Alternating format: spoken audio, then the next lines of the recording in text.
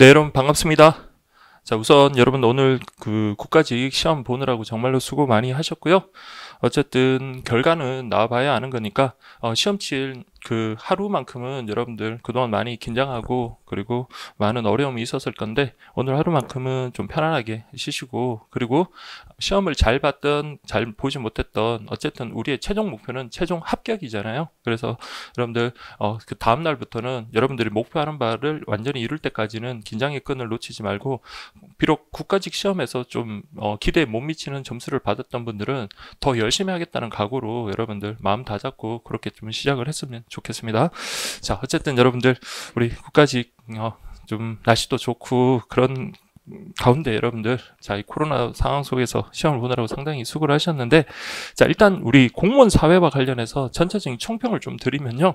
자 일단 뭐 다른 과목 시험 뭐 다른 과목과 같이 시험을 보다 보니까 대체로 이제 사회 같은 경우는 제일 마지막에 푸는 경우가 많아요. 그러다 보니 시험이 마, 시간이 많이 부족했다라는 그런 말씀들이 좀 들려오는 것 같은데 전체적인 난이도는 여러분들 자, 이거는 어, 좀 재수없게 들릴지 모르겠지만 난이도는 상당히 쉬운 편이었다 이렇게 생각이 듭니다. 그래서 뭐 물론 많이 쉽다거나 그런 건 아니고요. 그냥 이게 어려운 그런 난이도는 아니고 다만 여러분들이 체감 난이도가 좀 높았던 것은 아무래도 시간이 좀 걸리는 그런 문제들이 음, 다소 좀 있다 보니까 아무래도 여러분들이 그 시간 때문에 여러분들 실력 발휘를 제대로 못해서 좀 어렵지 않나 그런 생각이 들고요. 그리고 또 이제 어, 우리들이 늘 공부하고 시험에 자주 출제되는 것이 아닌 곳에서 한 두 문제 정도가 출제가 됐었어요. 특히 우리 정치와 법과 관련해서는 이제 외교 관련해서 그러니까 제일 마지막 파트에 있는 겁니다. 외교 관련해서 그리고 이제 우리 경제 관련해서도 역시 마지막 단원에 있는 실질 이자율이라는 것은 명목 이자율 빼기 물가 상승률이라는 그식만 알면 뭐 어렵지 않은 문제지만 그걸 좀 소홀히 했던 분들은 조금 난이도가 있었을 거다 이런 생각이 들 수 있을 거고요. 그다음에 이제 어 개, 개인적으로 그나마 여러분들이 좀 어, 시간이 충분하다는 전제하에서 그래도 이제 좀 난이도가 조금 있다라고 생각되는 그런 문제는 어, 상속 문제 이제 보시면 상속 문제는 어쨌든 우리가 그동안 기출해 보면 아버지하고 아들이 동시에 사망했을 때 자 이때 아버지가 먼저 사망한 경우에 아들 그 상속분이 엄마한테로 상속된다는 거 기출 있었잖아요. 그리고 이제 뭐 다른 별 문제 풀 때도 말씀드렸고 모의고사 문제 풀 때도 말씀드렸지만 그 동시 사망인 경우는 서로 간에 상속이 일어나지 않는다. 근데 이번 경우는 자 아들에게도 여러분들 상속 재산이 있었다라는 것, 그러니까 피상속 재산이 상속 재산이 있었다라는 것, 그게 이제 여러분들한테 좀 어렵게 좀 다가왔을 수도 있겠고요. 그 다음에 그리고 이제 사회문화, 계층 관련되는 거는 절대 어려운 문제는 아닌데 여러분들 아무래도 좀 시간적인 그런 부족 때문에 어, 여러분들이 조금 난이도가 있게 느껴질 수도 있을 그런 문제고요. 경제는 여러분들 대체로 아주 쉽게 출제가 됐다 그렇게 보시면 되겠습니다. 근데 여러분들 말씀드리지만 체감하는 거하고 다르다고 그랬죠. 그래서 경제가 이제 특히나 이제 사회에서도 제일 마지막 16번부터 20번까지 문제가 포진되다 보니 여러분들 상대적으로 좀 어렵게 느껴지지 않았나 그런 생각이 들고요. 그래서 음, 우리 이 기출 문제의 해설을 통해서 여러분들 어쨌든 기출 문제라는 거는 다음 시험에 이제 어, 충분히 또 나올 수도 있는 거고 또 여러분들의 어떤 공부 방법이라든지 그런 것에 대한 어떤 보완을 또 할 수 있는 그런 계기를 마련할 수 있는 것인 만큼 자 이번 기출 문제 풀이를 통해서 여러분들 그래도 우리 최종 합격의 그날까지 같이 열심히 정진했으면 좋겠습니다. 자 그러면 우리 지금부터 우리 어, 국가직 공무원 사회 시, 풀이 시작하도록 하겠습니다.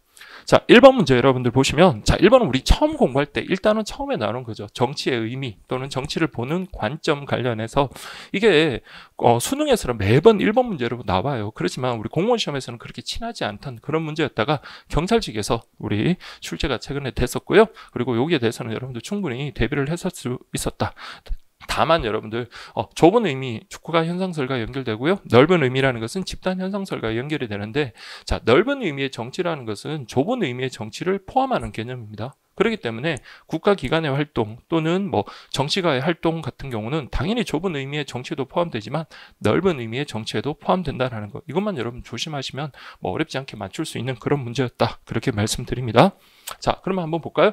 첫 번째 자 쓰레기 분리수거 문제 어, 정치의 의미라고 했으니까 좁은 의미, 넓은 의미 또는 뭐 국가 현상설, 집단 현상설 어떻게 분류하든 상관없습니다. 자, 쓰레기 분리수거 문제로 갈등을 겪고 있는 아파트 입주민들이 회의를 했다. 자, 아파트 입주민들의 회의를 통해서 이런 갈등을 해결한다라고 한다면 이것은 넓은 의미 내지는 어, 집단 현상설이다. 이렇게 보시면 되겠죠. 그러면 자, 가는 뭐가 된다? 넓은 의미 예라고 됐고요. 요거는 좁은 의미 또는 이거는 집단 현상설. 여기는 어, 국가 현상설이다. 이렇게 보시면 되겠습니다. 그래서 이거는 가나 이렇게 분류하는 거네요. 자, 1번 보시면 자, 이거는 워낙 많이 어, 수능에서 기출됐던 겁니다. 그래서 오늘날과 같은 다원화 다원화된 현대 사회 정치 현상을 설명하기 어, 용이한 것은 넓은 의미의 정치가 되겠죠. 그래서 우리 넓은 의미의 정치라는 것은 다른 말로 현대적 의미의 정치다 이렇게 표현하고요. 좁은 의미의 정치라는 것은 전통 전통적 의미의 정치다 그렇게 표현하기도 합니다. 그러면요 넓은 의미니까 당연히 설명하기 어려운 게 아니라 설명하기 용이하다 이렇게 가야 되겠고요. 2번 공공시설 설치 지역 선정을 둘러싼 자 지방자치단체 간의 갈등을 전, 정치 현상으로 본다. 이러한 국가기관 물론 지방자치단체도 넓은 의미에서 여러분들 국가기관으로 보시면 되겠고요. 그래서 이러한 국가기관이 어, 이러한 갈등을 해결하는 과정 이것은 어, 좁은 의미에서 정치로 본다면 당연히 넓은 의미에서도 정치로 보는 겁니다. 그래서 이거 갈등을 정치 현상으로 본다. 자 우리 가 맞는 질문이 되겠습니다. 3번 나는 가족 간 유산 상속을 둘러싼 갈등을 정치 현상으로 본다. 이건 여러분들 어, 국가가 아니라 그냥 일반 기타 집단 가족에 대한 어떤 갈등 해결 과정을 나타내는 거기 때문에 여기서는 좁은 의미에서는 정치로 보지 않는다. 이렇게 돼야 되겠고요. 4번 나는 국회의원의 입법 활동을 정치 현상으로 보지 않는다. 자, 우리 국회의원 마찬가지입니다. 국회의원이라는 이런 정 어, 국가 기관이죠. 어, 국회의원이라는 것은 하나의 독립된 국가 기관이고요. 또 정치가 이런 어 주체들의 갈등 해결 과정은 좁은 의미나 넓은 의미나 모두 정치로 본다. 이렇게 가야 되겠죠. 그래서 우리 나에서는 당연히 정치로 봅니다. 그래서 1번 문제 정답은요. 네, 2번이 되겠습니다.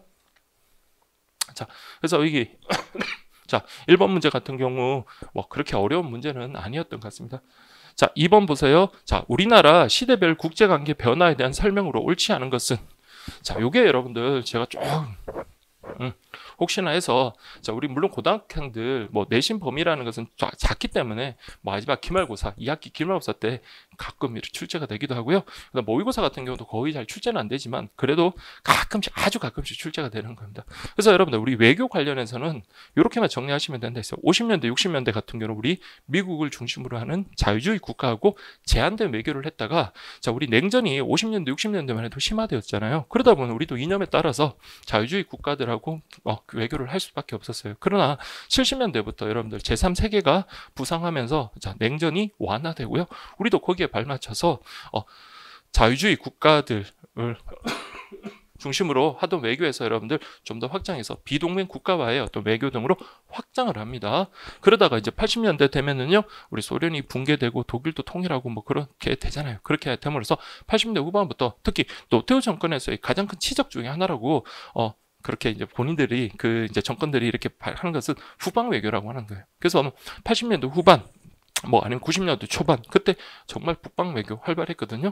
그래서 우리 헝가리를 시점으로 해가지고 어, 특히 이제 뭐 대만하고 외교도 단절하면서 중국과의 수교도 하고 그렇게 했던 게 바로 북방 외교 80년대 후반 90년대 초 그렇게 보시면 되고요. 근데 이제 어, 법과 정치 정치와 법에서는 자 그동안의 기출 문제를 보면 우리가 공부했던 것 외에 여러분들 정말 처음 보는 그런 지문들이 나올 때가 있어요. 그러나 제가 늘 말씀드리지만 여러분들 그런 지문이 나오더라도 한 개 정도 나온다. 그렇지만 그것은 정답 정답하고 정답에 크게 영향을 미치지 않을 거다. 그것만 여러분들이 생각했으면 이런 좀 낯선 질문들 있죠. 그런 것들에 대해서 여러분들이 너무 당황하지 않았을 겁니다. 근데 자 그러면 한번 보세요. 자 옳지 않은 것 그랬습니다. 자 1970년대 어 냉전입니다. 냉전 체제 강화로 공산 진영을 배제한 미국 중심의 자유주의 진영 국가와 우호 관계를 구축하였다. 이건 여러분들 50년대, 뭐 60년대 초, 중반 그 정도까지예요. 70년대는 오히려 뭡니까? 어, 우리 미국 중심의 자유주의 국가에서 좀 더 넓혀서 제3세계 국가, 비동맹 국가와의 어떤 무역을 확대했다. 이렇게 돼야 되겠죠. 그래서 1번 X. 자, 22번 1980년대 후반에 여러분들 북방 외교 정책. 북방 외교 정책이라는 것은 공산주의 국가들하고의 어떤 외교 문호를 개방했다. 이렇게 보시면 되는 거죠. 그래서 이게 맞는 지문이고요. 3번 1990년대 탈냉전 흐름 속에서 자, 이제 이제 냉전이 여러분들 해체가 되고 난 다음에는 다른 거 없죠. 이제 이념이 아니라 실리 중심의 그런 총력 외교가 나타나게 됩니다. 그래서 실리를 중시하는 외교를 추진하였다. 맞는 지문이고요. 4번 자, 2000년 이후 공적 개발 원조 지원 규모의 증가 추세 속에서 개발 원조 위원회 회원국이 됐다. 자, 우리나라도 이제 충분한 그런 역량이 있으니까 2000년 이후에는 자 이렇게 우리가 원조를 받던 국가에서 이제 원조를 해주는 국가로 그렇게 어 자, 우리 지휘가 부상을 했습니다. 그래서 여러분들 이게 뭐 참조를 하면 개발원조위원회, 자, 여기 2009년에 여러분들 우리가 가입을 해요. 그래서 2010년에 어, 본격적으로 활동을 시작을 하는데 어쨌든 이 지문은 정말 낯선 지문일 겁니다. 그렇지만 우리 그 외교 발전 순서, 그것만 여러분들 정확하게 알아주셔서도 이 문제는 뭐 그렇게 어렵지 않게 풀 수 있는 그런 문제였습니다. 그래서 정답은 1번이 되겠습니다. 자, 3번 보시면, 자, 어, 제가 시간이 없어서, 자, 이렇게 그 시험지를 그냥 그대로 여러분들 좀 붙였는데 한번 볼까요? 어, 갑국의 선거구제. 자, 선거구제 하면 여러분들 소선거구제, 중대선거구제 뭐 이렇게 어, 생각하시면 되겠고 워낙 선거구제는 특특 특혜급이기 때문에 여러분들이 특히 이제 소선거구제 단점 하면 여러분들 뭐 구구단 외우듯이 외우라 그랬죠. 그래서 소선거구제 하면 사표 발생이 많고요. 득표율과 의석률의 차이에 따라서 우리 국민들의 어, 그 국민들의 어떤 그 지지를 제대로 반영하지 못한다라는 게 그게 그래서 득표율과 어떤 의석률의 그런 괴리감이 크다 이렇게 여러분들 정리를 하시면 된다라고 했습니다. 자 그런데 여기 보시면 자, 갑국은 시기별 하나의 선거구제를 채택하고 있으며 지역구만 존재한다. 또한 선거구제 변화 전후에 총 의원 수는 36명으로 갔다. 자, 언제나 여러분들 선거구가 뭔지 찾으려면 지역구 의석수하고요. 지역구 선거구 수를 비교해서 지역구 선거구와 지역구 의석수가 동일하다면 이것은 하나의 선거구에서 한 명의 어, 지역구 당선자가 결정되는 소선거구제다. 그렇게 보시면 되고요.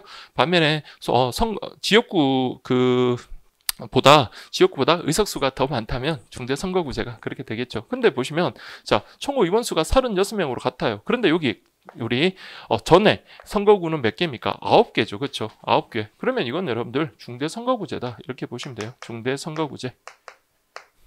그러다가 이제 보니까 이게 하나 둘 셋 넷 다섯 여섯 하나 둘 셋 넷 다섯 여섯 66에 36. 즉 어, 선거구가 36개. 그리고 지역구 의석수가 36명이잖아요. 그러면 요거는 뭘로 바뀌었다? 소선거구제로 바뀌었다. 이렇게 보시면 됩니다.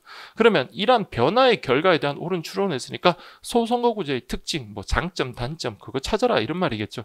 기억번 유권자와 대표자 간의 유대관계 형성이 어려워진다. 오히려 선거구가 작고요. 어, 출마자들이 후보자들, 입후보자들이 숫자가 더 적기 때문에 소선거구제에서는 오히려 유대관계 형성이 더 용이해진다. 이렇게 가야 되겠죠. 그래서 이건 중대선거구제의 단점입니다. 그다음에 군소정 정당 난립, 전국 불안정. 뭐 요거는 여러분들 우리가 세트로 갔었죠. 어, 소선거구제, 다수대표제. 그다음 어, 어, 거대 정당이나 어, 기성 정치인에게 유리하고 양당제를 촉진하고 전국이 안정되는 건 소선거구제. 중대선거구제 같은 경우는요 소수 대표제와 결합이 되고요.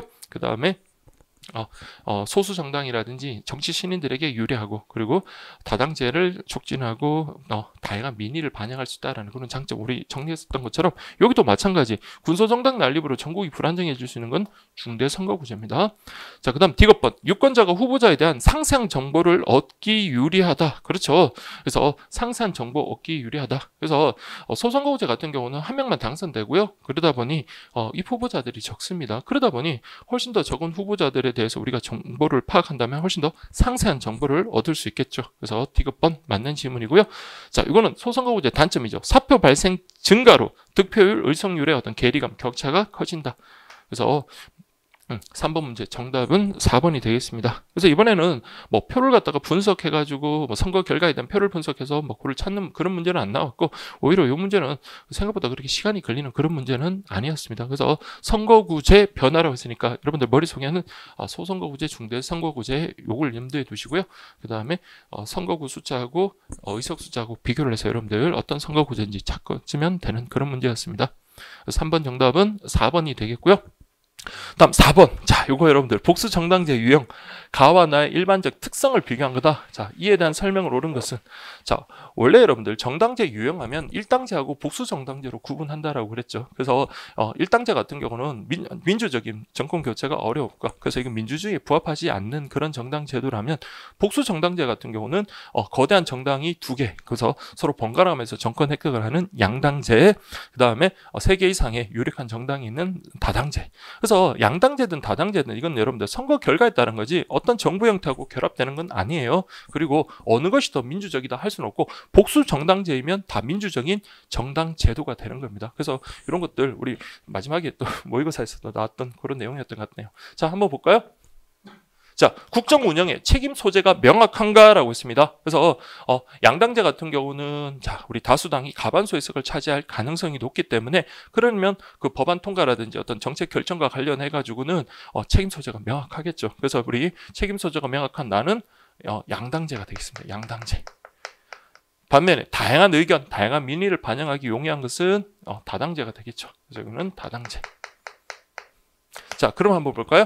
1번 다당제에서 의원 내각제를 채택한 국가의 경우 아무래도 가반수 의석을 차지한 정당이 나오기 어렵겠죠. 그래서 연립정부가 구성되는 일이 흔히 발생한다. 이건 뭐 여러분들 워낙 많이 풀어보셨을 거예요. 2번 다당제에서는 정당 간 대립이 발생할 때 중재가 비교적 자, 어려운 게 아니라 더 용이하죠. 그래서 어, 여러분들 제3의 당이 캐스팅 보트를 잡을 수 있기 때문에 두 정당 간에 뭐 다툼이 있다 하더라도 제3당의 어떤 중재가 용이합니다. 그렇지만 우리 양당제는 어떻게 했어요? 거대한 정당 두 개가 싸우더라도 제3의 정당이 뭐 있다 하더라도 아주 미미한 존재죠. 그렇기 때문에 이런 정당이 캐스팅 보트를 잡기도 어려울 뿐만 아니라 중재하기도 상당히 어렵다라고 그렇게 말씀드렸습니다. 그래서 여기는 중재가 다당제에서는 제3의 정당이 중재가 용이하다 이렇게 가야 되겠고요. 나인 국가 자, 이러면 양당제로 두 개의 정당이 있다 그러면 안 되죠. 대표적인 여러분들 양당제 국가하면 미국이라든지 어, 영국을 들 수가 있는데 미국도 여러분들 정당 상당히 많고요. 또 우리나라도 여러분들 실질적으로 보면 거의 양당제죠. 계속 보면 우리 두 개 정당이 번갈아 가면서 우리 정권을 획득해 왔고요. 지금 현재 어떤 의석 분포도 양당제라고 볼 수 있습니다.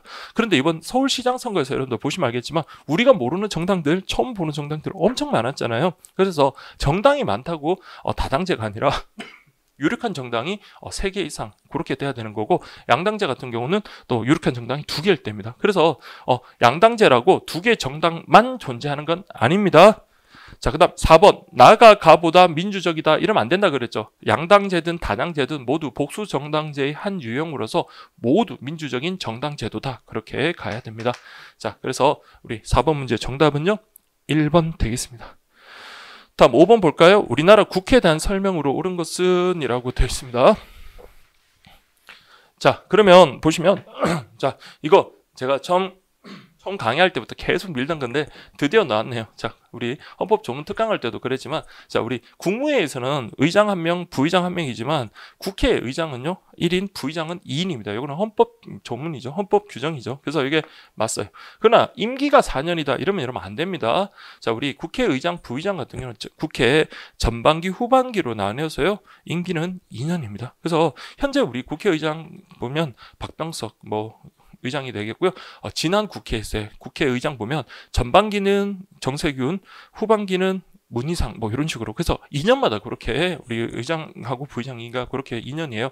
다만 여러분들 여기는 문제가 이제 출제가 됐으니까 요거는 이제 일단 답은 하고요. 어, 국회의장하고 부의장 관련해서 여러분들 꼭 기억하실 게 본회의에서 선출되는 거고 특히 이제 제적 과반수 절대 다수 대표제에 의해서 선출이 된다. 하나 더 추가하자면 자 국회의장은 절대로 대통령이 임명하는 그런 지위가 아니에요. 그래서 아까 말씀드린 것처럼 어, 제적 의원 과반수 본회의에서 선출됨으로써 당선이 되는 거지 대통령 임명한다 하면 안 되고요. 그 다음에 어, 저 요거 조금 더 심화적인 내용으로 국회의장은 여러분들 국회의장이 당선되는 순간부터 즉 국회의원 의장이 되는 순간부터 음, 당적을 가질 수가 없습니다. 그래서 무소속. 반면에 부의장 같은 경우는 당적을 계속 보유를 해요. 다만 국회의장이 이제 임기가 끝나면 다시 예전에 있던 당적을 회복한다. 이렇게 보시면 돼요. 그래서 지금 박병석 의장 같은 경우는 무소속입니다. 그러나 어, 이제 임기 2년을 마치고 나면요 더불어민주당 소속으로 다시 복귀하게 된다. 이렇게 정리하시면 될 것 같아요.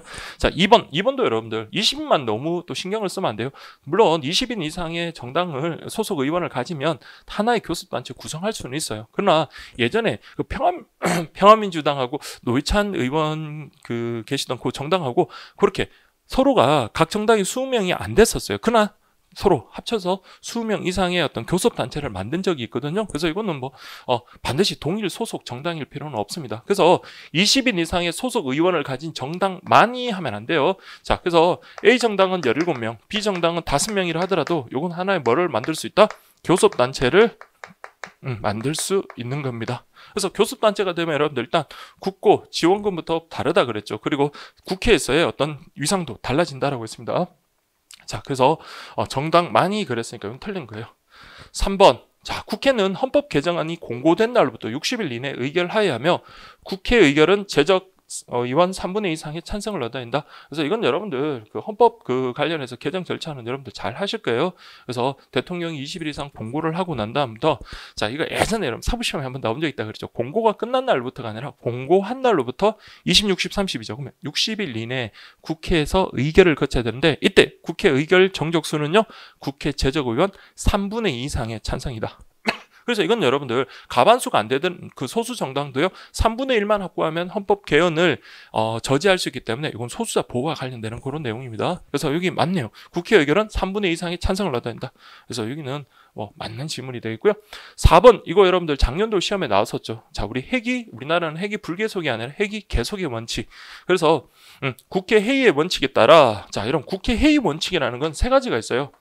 국회 회의 원칙하면 여기 첫 번째가 회기 계속. 방금 우리가 나오는 지문 회기 계속의 원칙이 있고요. 그다음 두 번째가 의사 공개 원칙. 그다음 세 번째가 일사부재의 원칙. 자, 그래서 이 두 개는 헌법에 있고요. 이거는 우리 국회법 법률에 이렇게 나와 있습니다. 이거는 헌법 규정이고요. 요거는 법률에 국회법이라는 법률에 규정되어 있다. 그래서 국회 회의 원칙에 따라 한 회기 중에 자 의결되지 못한 법률안 의안은 다음 회기에 폐기되지 않는다 그랬죠. 그래서 다음에 이게 그대로 상정되어 있는 겁니다. 그래서 별도로 발의할 필요가 없어요. 그래서 심의하지 못한다? 아닙니다, 여러분들. 그러나 다만 우리 단서가 있었죠. 뭐가 종료됐을 때 그렇죠. 국회의원의 임기가 종료하면 그때 심의 어 의결되지 못한 법률안이 이런 건 싹 다 폐기가 되고요. 그다음 다음 국회 이제 우리 회의가 시작될 때 다시 발의를 해야 된다. 그래서 그 대표적인 법안이 구하라 법안이라 그랬잖아요. 그래서 그런 것들 생각하시면 뭐 어렵지 않게 풀 수 있는 그런 문제였습니다. 그나마 저 5번 문제는 여러분들 그래도 여러분들 조금 헷갈릴 수 있게끔 그러니까 헌법이라든지 이런 그 조문들을 좀 꼼꼼하게 안 보셨던 분들은 조금 헷갈릴 수 있는 그런 문제였다. 이렇게 보시면 되는데 근데 객관식의 장점은 뭡니까? 다 헷갈려도 하나만 정확하게 알고 있으면 할 수 있는 거잖아요. 그래서 우리 다른 건 몰라도 헌법 그 개정 절차, 법률안 제정 개정 절차는 헌법 조문 사항이기 때문에 토시 하나 안 틀리고 여러분들 반드시 암기를 해야 되고 정리를 해야 된다라고 말씀을 드렸으니까 어, 이것도 여러분들 그렇게 어렵지 않게 풀지 않았을까 그렇게 생각이 드네요. 자, 그래서 정답은 3번입니다. 자, 다음 6번 볼까요? 자, 근로 3건.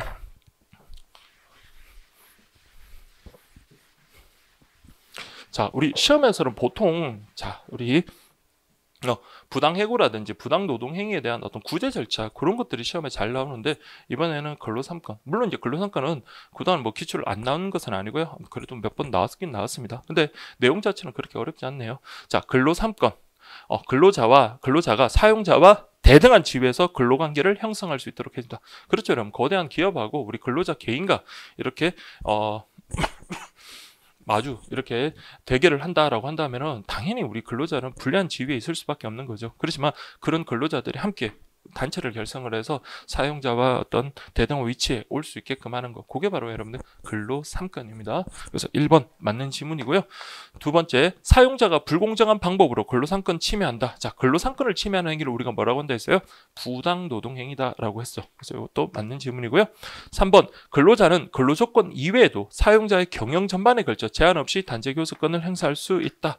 자, 우리 어 정당한 이유 없이 단체 교섭을 자, 거부하는 행위에 대해서는 어, 여기에 대해서는 부당 노동 행위가 되죠. 그렇지만 자 우리가 단체 교섭의 대상이 되는 것은 근로자의 근로 조건과 관련되는 겁니다. 그래서 어, 임금이라든지 근무 시간이라든지 뭐 휴가, 뭐 상여금 이런 것들이 여러분들 어, 단체 교섭의 대상이 되는 거지 그 경영 영역에 속하는 것들이 있죠. 그래서 뭐 신규 사업에 진출한다든지 구조 조정을 한다든지 공장을 이전한다든지 이런 것들은 경영의 자의 몫이기, 몫이기 때문에 이것은 여러분 단체 교섭의 대상이 되지 않습니다. 그래서 틀린 질문이에요. 4번 단체 행동권의 정당한 행사에 따른 어, 사용자와 자, 죄송합니다. 사용자와 손해에 대해서는 근로자는 법적 책임이 없다. 그렇죠. 여러분들 단체 행동권 정당한 행사 즉 우리 법에서 정해진 절차를 따르고요. 그리고 이제 어, 사용자와의 어떤 재산권의 조화를 이루어야 되겠죠. 그렇다고 막 단체 행동한다고 막 공장 기물 파손하고 이런 것들은 당연히 민사상 그리고 형사상 책임을 질 수 있습니다. 그러나 정당한 단체 행동권 행사 같은 경우는 어, 우리 형법 형사상으로도 범죄가 되지 않고요. 그다음 민사상으로도 이 위법성이 없는 거잖아요. 법에 정해진 대로 어, 권리를 행사한 거기 때문에 그래서 민사상 불법행위 책임도 지지 않는다. 그래서 여러분들 어, 사용자와 손해에 대해서 근로자는 법적 책임이 없다. 이렇게 돼야 돼요. 그래서 6번 문제 정답은 3번. 이건 정말 여러분 난이도 극하인 그런 문제였습니다. 그래서 3번이 정답이에요. 자, 다음 7번 한번 볼까요? 자. 자, 7번은 보니까 어, 범죄 성립과 관련되는 그런 문제네요. 자, 한번 볼까요? 법적 판단 옳은 것만을 보기에서 모두 고르면 자, 14세인 갑은 배고픔을 참지 못하고 빵집에서 빵을 훔쳤다. 자, 여러분들 어, 14세인 자, 일단 어, 원래는 이렇게 만 14세라고 이렇게 적어두면 더 깔끔했을 건데 그래도 우리 시험 문제 여러분들 만자가 없으면 만으로 생각하라고 그랬습니다. 자, 그러면 만 14세 미만이 아니라 만 14세기 때문에 얘는요 형사 미성년자가 아니고요. 그리고 배고픔을 참지 못하고 빵집에서 빵을 훔쳤다. 자, 여러분 배고픔을 참지 못한 게 어떤 이런 빵을 훔칠 수 있는 어떤 정당한 사유가 되는 게 아닙니다. 그래서 이건 범죄가 성립한다 이렇게 가야 돼요. 자, 바로 갈게요. 기억만 갑은 책임 능력이 없는 게 아니죠. 14세 미만이어야지 책임 능력이 없고요. 자, 이건 조금 논란이 될 수 있겠습니다. 그러나 만자 그래서 어 그래서 갑은 책임 능력이 없다 이렇게 돼야 되겠네요. 아 책임 능력이 있다 이렇게 돼야 되겠죠. 그래서 우리 만 14세 미만이 아니라 이 친구는 만 14세다 이렇게 생각하시면 되겠고요. 어 그 다음에 조금 논란 될 수 있겠죠. 니한번 의뢰행위는 자구행위에 해당하여. 자, 그럼 볼까요? 을은 빚을 갚지 못고 해외로 도망하는 채무자를 공항에서 강제로 붙잡았다. 이건 여러분들 뭐 가장 전형적인 어떤 자구행위에 대한 케이스죠. 원래 개인은 자력구제를 할 수가 없지만은 국가의 어떤 이런 자신의 청구권 보전을 위해서 국가의 어떤 뭐 형벌권이나 국가의 어떤 권력을 어, 이용하기 곤란한 그런 급박한 상황 속에서는요 이런 체포행위나 그런 게 가능합니다. 그래서 이거는 무슨 행위? 자구행위 맞는 질문이고요. 세 번째, 병은 갑자기 나타나는 달려드는 맹견 피하기 위해서 문이 열린 남의 집으로 들어갔다. 여러분들 대문이 열렸다고 남의 집에 들어간다. 이거는 여러분들 어, 그 사람들이 주거권을 침해하는 것으로 써서 음, 자, 이거는 주거 침입죄 같은 주거 침입죄의 구성 요건에 해당합니다. 그러나 이런 맹견 피하기 위한 것, 이건 뭐죠? 긴급 피난이죠. 그래서 병의 행위는 긴급 피난에 해당하여 위법성이 조각될 수 있다. 그래서 이 문제가 더 난이도가 낮은 이유가 여러분들 너무나 쉬운 그리고 우리 모든 여러분들이 보시는 기본 교재에 전형적으로 나오는 그 긴급 피난과 자구행위에 대한 어떤 사례이기 때문에 어렵지 않게 문제를 풀지 않았나 그렇게 생각이 듭니다. 자 마지막 정은 친구의 가방에서 돈을 훔쳤는데 친구는 그 사실을 알지 못했다. 이게 뭐 절도죄지 뭡니까 친구가 알지 못한. 그러나 절도죄 같은 경우는 여러분들 자 만약에 어 절도죄 우리 형법에 그 조문은 이렇게 돼 있죠. 타인의 재물을 갖다가 절취. 그 절취라는 것은 상대방의 의사에 반하여 가져가는 거거든요. 근데 상대방이 동의를 냈다면 그것은 절취가 되는 게 아니라 당연히 구속 요건 해당성조차 없겠죠. 그러나 이거는 동의를 해준 게 아니라 알지 못했던 거잖아요. 알지 못했던 게 동의를 해준 게 아닙니다. 그렇기 때문에 구속 요건에 해당 한다 이렇게 돼야 됩니다. 그래서 절도죄 구성 요건에 해당한다 이렇게 돼야 돼요. 그래서 우리 정답은요 니은 디귿 되겠습니다. 자, 오타가 좀 있네요, 여러분들. 자, 8번 볼까요? 어, 밑줄 친 기억과 니은에 대한 설명으로 옳은 것은 이라고 되어 있습니다. 그래서 뭐 이 내용은 여러분들 읽어보셨을 거라고 생각이 들고요. 자, 우리 배상명령제도 이건 단독 문제로 나온 적이 있다라고 했고요. 그 다음 형사보상제도 워낙 이거는 많이 다뤘을 거예요. 여러분들. 자, 그러면 바로 가겠습니다. 기억만. 갑이 기억을 통해 손해배상, 자, 손해배상을 받기 위해서는 병이 당해 재판에서 유죄 판결을 받아야 된다라고 되어 있습니다. 자, 여기 사례가 뭐라고 되어 있습니까? 회사 직원 병이에게 폭행을 당해서 형사 고소를 했고요. 민사 소송 제기 없이 자, 우리 배상 명령 제도를 활용하려고 한다라고 했는데 배상 명령 제도 우리 형사 소송 도중에 간단한 신청만으로요. 민사상 배상까지 받을 수 있는 그런 제도라 그랬죠. 그래서 우리 배상 명령 제도 같은 경우는 사실심, 변론 종결시까지 신청만 하면 되고요. 다만 요 지문 자체가 조금 어려울 수 있습니다. 이게 음, 자, 일단 우리 요 소송 촉진 등에 관한 그 특례법에 따르면 자, 일단 요 배상 명령 제도를 그 해서 그 배상을 받으려면 이 사람이 유죄 판결을 받아야 돼요. 1심, 2심에서 자, 여기 유죄 판결을 받아야 된다. 그래서 요건 여러분들 어, 좀 낯선 지문이네요. 자, 요건 어쨌든 요건 맞는 지문인데 요걸 모른다 하더라도 자, 한번 보세요. 두 번째, 불구속 수사 후 무죄 취지의 불기소 처분을 받은 사람도 형사 보상을 활용할 수 있다. 물론 무죄 취지의 불기소 처분을 받은 피의자는 어, 검찰 정산하의 형사 보상 심의에 형사 보상을 청구할 수 있다라고 했죠. 그렇지만 가장 중요한 요건은 뭐예요? 구속이 돼야 되겠죠. 그래서 불구속 수사 받은 사람은 아무리 무죄 취지의 불 어, 어, 불기소 처분을 받는다더라도 형사 보상 청구는 할 수 없다. 이렇게 돼야 되겠고요. 세 번째, 구속 재판을 받은 피고인이 집행유예 확정 판결을 받은 경우 이연을 통해 보상을 받을 수 있다. 자, 이번에는 여러분들 구속 재판 받았다라는 요건은 충족하네요. 구속이라는 구금 충족하지만 그러나 집행유예라는 것은 여러분 무죄가 아니라 유죄의 일종인 거죠. 그렇기 때문에 어, 집행유예 확정 판결 절대 형사 보상 받을 수 없고요. 다음 네 번째, 기업과 니은 모두 국가가 범죄 피해자 보호를 위해 보상 또는 배상을 하는 제도다라고 되어 있는데 이것도 최근에 유사한 문제 한번 풀었던 것 같은데 자 이런 배상 명령 제도는 말 그대로 뭡니까 범죄 피해자가 가해자에게 원래는 민사 소송으로 자신의 손해를 전보 받아야 되는 거지만 간단한 신청만으로 형사 소송에 어, 해상, 형사, 배상 명령 제도를 통해서 어, 손해 배상을 받을 수 있는 그런 제도니까 이건 여러분들 범죄 피해자가 활용하는 제도 맞습니다. 그러나 형사 보상 제도라는 것은 범죄 피해자가 받는 게 아니라 어, 우리 피의자 또는 피고인 자 그러니까 우리 범죄 혐의가 있다고 생각됐던 사람이 어, 불기소 처분을 받거나 아니면 무죄 판결을 받았을 때, 즉 구속, 구속된 상태에서 그러한 사람을 보호하기 위한 제도지 범죄 피해자를 보호하기 위한 제도가 아니에요. 그렇기 때문에 조금 틀린 지문이 되겠습니다. 자, 그래서 우리 1번. 자, 이거는 좀 낯선 지문이긴 하지만 배상 명령 제도. 자, 이거 활용하기 위해서는요. 어, 피고인이 1심 또는 2심에서 뭘 받아야 된다? 유죄 선고를 받아야 된다. 유죄 판결을 받아야 된다. 이렇게 보시면 되겠습니다. 이게 정답입니다. 그러나 2, 3, 4번은 여러분들 많이 음, 다뤘던 거나 아니면 여러분 충분히 알 수 있는 거기 때문에 이것도 그렇게까지 어렵거나 그런 지문은 아니었던 것 같습니다. 자, 정답은 1번이 되겠고요. 자, 9번 문제. 자, 요게 이제 상속 관련되는 음, 문제네요. 음. 아니야 다를까 이번에도 역시 상속과 관련해서는 이런 사례 그리고 가계도가 나왔네요. 자 보시면 갑과 을은 혼인신고 후 자녀 병과 정을 낳고 살고 있었다. 어느 날 갑과 병이 큰 교통사고를 당하여 자 여기 이제 핵심이 시차를 두고 두 사람 모두 사망했고 사망 당시 갑병 전 재산을 각각 자, 14억씩 각각 있었대요. 그 별도 유언은 없었다라고 되어 있습니다. 그래서 가계도 자체는 아주 간단합니다. 그래서 갑과 을은 자, 부부 관계고요. 자, 이 부부 사이에 병과 정이 이렇게 있습니다. 자, 근데 이 사람은 상속재산 14억 원, 자, 병도 14억 원, 이렇게 여러분들 있었네요. 근데 문제는 뭐냐면, 갑과 병이, 자, 누가 먼저 사망했다는 말은 없어요. 그냥 시차를 두고 두 사람 모두 사망했다라고 되어 있습니다. 그러면 여러분들 두 가지 경우겠죠. 갑이 먼저 사망한 경우, 두 번째는 병이 먼저 사망한 경우. 그러면 거기에 따라서 한번 해보면 돼요. 자, 첫 번째 보세요. 갑이 먼저 사망한 경우, 정은, 정은 그랬습니다. 갑 사망 시 갑의 재산 중 4억 원을 상속받는다라고 되어 있습니다. 자, 1번 볼까요? 갑 먼저 사망 한 경우 한번 볼까요? 자, 갑이 여러분들 먼저 사망을 하면 자, 이 상속 재산 14억 원에 대해서 어떻게 해요? 1대 1대 1.5 이렇게 되겠죠. 그러면 요거 4억, 4억, 6억 하면 10억, 14억. 예, 이렇게 되겠네요. 그러면 어떻게 된다? 어, 4억, 4억, 6억 이렇게 상속을 받게 됩니다. 자 그러면 음, 오시면 갑 사망 시 갑의 재산 중 정은요 얼마를 상속받는다? 4억 원 그렇죠 14억 원에 대해서 1대 1대 1.5 되니까 이렇게 상속을 받게 된다. 그렇게 보시면 되고 2번 병이 먼저 사망한 경우 을은 병 사망 시 병의 재산 중 7억 원을 상속받는다. 이렇게 되어 있습니다.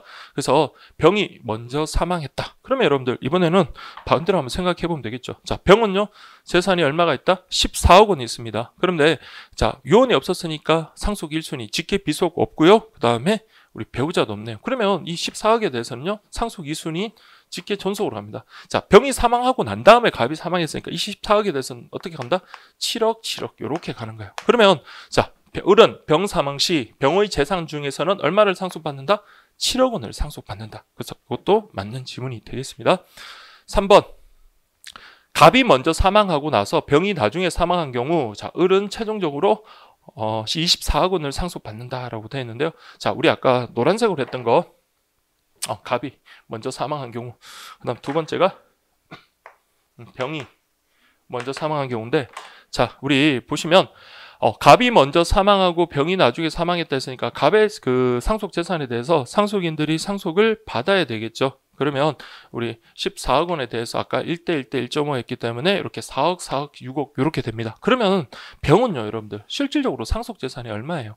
자신의 재산 14억에다가 갑으로부터 물려받은 상속 재산 4억, 그래서 18억 원이 돼요. 그러면 그 이후에 병이 사망했을 때 병이 가진 재산은 자 아까 말했지만 어, 상속 1순위가 없고요 배우자도 없어요 그럼 상속 2순위인 직계 존속한테 가야 되는데 직계 존속 중에 갑은 이미 사망했기 때문에 이 18억 원이 모두 어디로 간다? 을에게 가게 되는 겁니다. 그래서 을 같은 경우는 어, 자, 우리 18억 원 이렇게 어, 상속을 받게 되는 겁니다. 그러면 기존에 여러분들 우리 어, 상속을 받았던 거하고요. 18억 원하고 더하면 얼마가 된다? 24억 원이 된다. 그렇게 보시면 되겠습니다. 그래서 우리 24억 원 상속받는다. 맞는 지문이 되겠죠? 그래서 요거 어, 기존에 어, 6억, 아, 기존에 6억 원 하고, 그 다음에 이렇게 18억 원까지 더해서 24억 원, 이렇게 되는 겁니다. 자, 그 다음 네 번째, 병이 먼저 사망하고 나서 갑이 나중에 사망한 경우 정은 최종적으로 10억 5천만 원을 상속받는다라고 되어 있네요. 자, 그러면 보면 어떻게 할까요? 음, 아, 여러분들 이거 6억 원 아까 누구한테 받은 거예요? 어, 갑한테 이렇게 받은 거예요. 갑한테 받은 6억 원에다가 그 이후에 병이 이제 사망했을 때 18억 원 이렇게 돼서 24억 원이 되는 거고요. 지금 이제 병이 먼저 사, 어, 사망했다. 그러면 아까 우리 이렇게 7억 원, 7억 원을 이렇게 상속 받게 되고요. 그 다음에 나중에 갑이 사망한 경우라고 되어 있습니다. 그러면 이 갑이 사망과 관련해 가지고 이제 상속 재산을 나눠야 되겠죠. 근데 여러분들 이미 자 이건 그냥 이제 지우겠습니다. 병은 이미 사망하고 없어요. 물론 이제 대습 상속을 생각해 볼 수 있는데 자 그냥 흘려 들으세요. 대습 상속이 되려면 자이 이 사람한테 배우자라든지 아니면 직계 비속이 있어야 됩니다. 사, 근데 그런 경우가 아니니까 이때는 그냥 없는 셈 생각하시면 되고 자 여기서 음 갑의 그 상속분에 대해서 또 한번 볼까요? 자, 여기 보시면 음 자, 이 14억 원은 자, 누구한테 7억 원, 7억 원 갑니다. 그래서 7억 원. 그다음에 이제 이분 돌아가시고 그다음에 이제 아버지께서 돌아가시는데 아버지가 지금 자기 재산 14억 원과 그 병, 병으로부터 받은 7억 원이 있으니까 총 21억 원이 되겠죠. 자, 이 21억 원에 대해서 누가 정과 을이 이제 상속을 받게 되는데요. 자, 이거 다 할 필요 없이 정은 그랬으니까 정 같은 경우는 자, 21억 원에다가 자, 이때는 몇 대 몇? 1대 1.5 이렇게 되는 거죠. 그래서 여기는 5분의 2가 되는 겁니다. 5분의 2. 그래서 이게 5, 4, 20, 5, 20 이렇게 되나요? 그래서 4.2 곱하기 2억 하면 2, 2를 곱하면 8.4, 즉 8억 4천이 됩니다. 그래서 우리 정 같은 경우는 8억 4천. 요걸 우리가 상속 받게 되겠죠. 그래서 우리 자, 병이 사망했을 때 정은요. 상속받지 못합니다. 그때는 부모인 갑과 을이 각각 7억 원씩 받게 되고요. 그 다음에 이제 갑이 사망했을 때 정은 상속을 받을 수 있는데 정 같은 경우는 자 우리 갑이 사망했을 때 갑 자신의 재산 상속 재산이 있던 14억 원이랑 어, 우리 병으로부터 받았던 7억 총 21억 원에 대해서 자 이게 5분의 3, 5분의 2 이렇게 되죠. 그래서 21억 원 곱하기 5분의 2 이렇게 해버리면 8.4억 원 이렇게 하면 됩니다. 그래서 8억 4천만 원을 상속받는다 이렇게 돼야 돼요. 아시겠죠? 자, 이게 좀 이렇게 하다 보니까 좀 복잡해지네. 생각보다 이게 어, 음, 좀 생각해야 될 게 좀 있네요. 그래서 시간이 좀 여러분들 많이 걸렸을 것 같습니다. 그래서 이 문제는 좀 여러분들 어, 시간이 좀 걸리면서 좀 힘들 수도 있겠다. 그런 생각이 좀 드네요. 지금 보니까. 자, 그래서 우리 9번 문제 정답은요. 4번 그렇게 보시면 되겠고요. 자, 그 다음에 10번 한번 볼까요?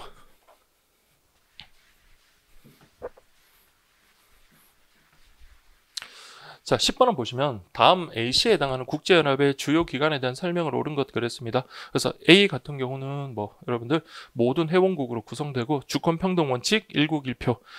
반면에 B는 뭐 요것만 보더라도 어, 안전보장 이사회 그리고 어, 요 표현을 꼭 기억하시라 그랬죠. 국제평화 안전 유지와 관련해서 1차적 책임을 지는 것은 안전보장 이사회다. 안전보장이사의 C 같은 경우는 주요한 사법기관이다라고 했으니까 국제사법재판소 ICJ가 되겠습니다. 자, 그러면 1번. 자, 여러분들 우리 국제연합 총회는 뭐라 그랬어요? 형식상 최고 의사결정기관이고요. 그러나 실질적 최고 의사결정기관은 안보리라 그랬어요. 그래서 1번 요거는 실질적이 아니라 형식적 최고 의결기관. 실질적 최고 의결기관 하면 안전보장이사이다. 그렇게 보시면 되고 2번 B 안전보장이사에는 중요 문제에 대한 어, 5개 상임이사국이 모두 포함된다. 그래서 모든 문제는 안 해요. 그래서 이걸 실질사항이라고 하는데 즉 중요한 문제에 대해서는 15분의 9. 자 이게 우리 안보리도 여러분들 자, 1국 1표주입니다. 상임이사국, 비상임이사국 모두 한 표긴 하지만 어, 15개 그 회원국 그 이사국 중에 아홉 표 이상을 얻어야 된다. 다만 이제 중요사항 대해서는 아홉 표 모두에 뭐가 들어가야 된다? 상위 비사국 다섯 개 국가가 모두 들어가야 되는 거죠. 그래서 이게 맞는 질문입니다. 3번. 자, ICJ 같은 경우는 15명의 재판관 국적이 서로 달라야 된다고 했고요. 다만 강제적 간할건이 아니라 분쟁 당사국이 서로 합의를 내야지만 간할이 열리는 임의적 간할건 가진다. 이렇게 돼야 되겠죠. 이게 이제 국내 재판하고의 차이다라고 했습니다. 4번 C는 판결을 이행하지 않은 당사자에 있어서 자, 직접 제재를 간다. 자, 이게 ICJ 직접 제재를 가할 수는 없죠. 그래서 이게 이제 국제 재판의 한계가 될 수 있겠고요. 다만 이제 안전보장 이사의 어떤 집행을 담보할 수 있긴 한데 그것도 여러분들 뭐 이해관계가 많이 걸리고 하다 보니 한계가 있다라고 했습니다. 그래서 ICJ는 스스로 어, 집행을 할 수는 없다. 이렇게 보시면 되겠습니다. 그래서 10번 문제는 상당히 쉬운 문제네요. 그래서 정답 2번 그렇게 보시면 되겠고요. 자, 그 다음 11번 보겠습니다. 자, 우리 어, 10번까지 이제 다 끝났고 11번 이제 사회문화 문제네요. 자, 사회 변동 방향을 설명하는 이론이라고 했습니다. 그래서 이건 출제 좀 가능성이 높다 그랬죠. 아무래도 근대화론이 교과과정에서 이제 빠지면서 사회 변동의 방향. 그러면 여러분들 방향 관련된 이론, 진화론, 순환론 생각하시면 되고요. 자, 일정한 방향이라고 되어 있고요. 뭐 여기는 다 끝났네요. 그래서 속도의 차이는 있지만 결국 같은 방향, 같은 경로로 변동한다. 요거는 진화론. 어, 나 복잡한 사회로 지속해서 변하는 게 아니라 발전과 퇴보를 반복한다. 자, 이거는 순환론. 자, 그럼 보세요. 1번 가는 사회 변동을 운명론적, 자, 운명론적 또는 숙명론적 시각을 가지는 것은 어, 순환론이죠. 그래서 언제나 너가 지금 발전한 것처럼 보이지만 결국은 너도 쇠퇴하고 소멸한다. 자, 이렇게 운명론적, 숙명론적 시각을 가지는 것은 나가 되겠습니다. 1번 X. 2번 나는 사회가 이전보다 발전된 모습. 자, 이전보다 발전된 모습 하면 진화론이 돼야 되고요. 그래서 1번, 2번은 서로 바뀌었습니다. 3번 가는 나와 달리 인간의 주체적 행동을 과소평가한다는 비판을 받는다. 자, 그래서 여러분들 우리 여기서 보시면 어 아까 우리 진화론 아니 진화론이 아니고 순환론에서는 아까 뭘 가진다 했어요? 운명론적 시각을 갖는다 그랬죠. 그러나 여기에 대해서 이제 어떻게 비판을 합니까? 우리가 정말로 많은 고난이 있다 하더라도 인간이 어떤 의지를 갖고 그것을 극복해낸 과거 역사도 분명히 존재하거든요. 그러나 이런 운명론적 숙명론적 시각이라는 것은 결국은 너네 소멸할 거야라는 어떤 수동적인 그런 시각을 갖게 되는 겁니다. 그래서 자 주체적 행동을 가소평가한다는 비판을 받는다라고 하면 이건 뭐가 돼요? 순환론이 되겠죠. 그래서 나는 가와 달리 이렇게 돼야 됩니다. 그래서 순환론의 비판이다라고 했고요. 자, 그다음 4번 나는 가와 달리 미래의 사회 변동을 예측하여 대응하기 적합하지 않다는 비판을 받는다. 그렇죠. 순환론 앞으로 어떻게 사회가 변동할 것 같습니까?라고 한다면 발전하거나 소멸하거나 이런 모호한 대답을 할 수밖에 없다라고 했습니다. 그렇기 때문에 순환론에서는요 미래 사회에 대한 예측 대응을 하기가 곤란하다 이렇게 보시면 되겠습니다. 그래서 11번 문제 정답은요. 4번 그렇게 보시면 되겠고요. 다음 12번 보겠습니다. 자, 다음 사례에 나타난 문화 변동에 대한 설명으로 옳은 것은 이라고 되어 있습니다. 자, 보시면 A국은 오랜 전쟁 끝에 B국을 정복하고 식민 통치했다. 식민 통치에서 자, 음, 미국 사람들이 자연스럽게 A국의 의복을 받아들였다. 여러분 식민 통치한다고 무조건 강제적 문화 접변이 일어나는 건 아니죠. 스스로 필요해서 이렇게 자연스럽게 의복을 받아들이는 어, 자발적 문화 접변도 일어납니다. 비국의 고얀 의복은 자치를 감추고 A국의 의복으로 대체됐다. 자, 기존의 문화는 흡수, 소멸돼 버리고요. 새로운 문화로 대체됐다. 문화 동화가 일어났네요. 자, 그러면 여러분들 어, A가 있고 B국이 있습니다. 이렇게 정복을 했어요. 정복을 했고 정복을 했고요. 그런데 비국은 어떻게 일어났다? 기존의 비국의 어떤 의복이 사라지고 A국 문화를 자연스럽게 받아들여 대체됐다. 자, 비국에는 뭐가 일어났다? 문화 동화가 일어났다. 이렇게 보시면 되고요. 또한 A국에서는 B국의 고유한 향신료를 전통 음식에 접목시켜서 새로운 음식을 만들었다. 그래서 기존의 어떤 문화에다가 새로운 문화가 추가됨으로써 어, 제3의 그런 문화가 형성되는 문화 융합이 나타났네요. 그래서 여기는 문화 융합 이렇게 보시면 되겠습니다. 자, 그럼 볼까요? 1번 A국에서는 문화 융합 B국에서는 문화 동화가 발생했다. 바로 답이 나왔습니다. 자, 2번 A국과 달리 B국에서는 간접 전파에 의한 문화 변동이 발생했다. 자, 여러분 정복이라든지 이런 것들은 직접 문화 전파가 되고 간접 전파라는 것은 우리 뭐 매개체, 뭐 책이라든지 인터넷 같은 이런 매개체를 통해서 문화가 전파되는 거기 때문에 이거는 직접 전파다 이렇게 돼야 되겠고요. 3번 B국과 달리 A국에서는 강제적 문화 접변으로 문화 변동이 발생했다. 물론 정복하고 식민 통치를 당했지만 자연스럽게 의복을 받아들였다는 것은 어, 자발적 문화적 변이 일어났다. 그렇게 보시면 되겠고요. 4번 A, B 모두 내재적 요인. 자, 여기서는 어떤 내재적 요인, 즉 발명, 발견 뭐 그런 것들은 나타나지 않고요. 물론 문화 융합 같은 경우는 A, B가 접목시켜서 새로운 것, 뭐 새로운 아이디어가 추가돼서 뭐 나타날 수는 있겠지만 그 A 같은 경우는 어, 그렇게 나타날 수 있지만 B 같은 경우는요. 그런 말들이 없죠. 발명과 발견과 관련되는 그런 말들이 없으니까 이건 답을 하고 볼 수 없습니다. 그래서 우리 12번 문제의 정답은요. 1번이다. 그렇게 보시면 되겠고요. 다음 13번 보겠습니다.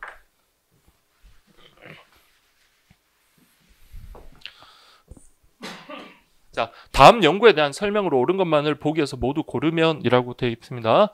자, 연구 목적 보니까 청소년의 학교 적응 정도의 이성 교제 여부가 미치는 영향. 그럼 결국은 자, 이게 어 독립 변수, 종속 변수, 즉 원인과 결과를 찾아야 되는데 앞에 있다고 이러면 절대 원인이라고 단정하면 안 된다 그랬죠. 가만히 보니까 이성 교제 여부가 학교 적응 정도에 미치는 영향이 있으니까 이게 요렇게 영향을 주는 거네요. 그래서 이게 바로 원인이 되는 거고 이게 결과가 됩니다. 그럼 기억은요? 종속 변수, 니은은 독립 변수다 이렇게 보시면 되겠고요. 자 가설 이렇게 해서 어, 여기 보니까 여기 있네 원이 독립 변수 이성 이성 교제 경험이 있는 학생이 학교 적응도가 없는 학생보다 더 높을 것이다라고 이렇게 가설을 설정을 했고요. 조사 대상 보니까 이성 교제 경험이 있는 고등학생 300 없는 고등학생 300 이렇게 어, 표본을 선정을 했습니다.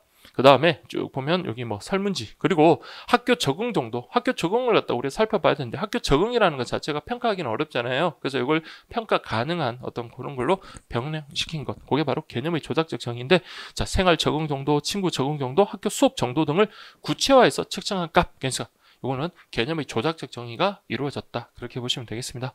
자 여러분들 뭐 질문지법 그 다음에 음, 가설 설정이 있고 이런 거 보니까 그리고 상관관계잖아요. 원인과 결과. 그래서 우리 양적 연구 방법에서는 주로 어, 상관관계에 대한 어떤 그런 것들을 연구한다라고 했었습니다. 그러면 이거는 뭐다? 양적 연구 방법 또는 실정적 연구 방법. 양적 실정적 연구 방법은 자, 우리 어, 자연현상과 마찬가지로 사회 문화 현상의 연구에 대해서도요 동일한 방법, 그러니까 본질이 다르지 않기 때문에 자연과학에서 사용하던 방법을 그대로 쓰면 된다. 그래서 우리 이것을 뭐라고 한다? 방법론적 이론론이라고 하죠. 그래서 방법론적 이론론 이렇게 돼야 되겠고요. 니은번 기억은 아까 말했죠. 이게 원인이 되니까 이게 독립 변수가 되고 이게 종속 변수가 됩니다. 기억은 종속 변수, 니은은 독립 변수가 된다. 네, 맞는 지문입니다.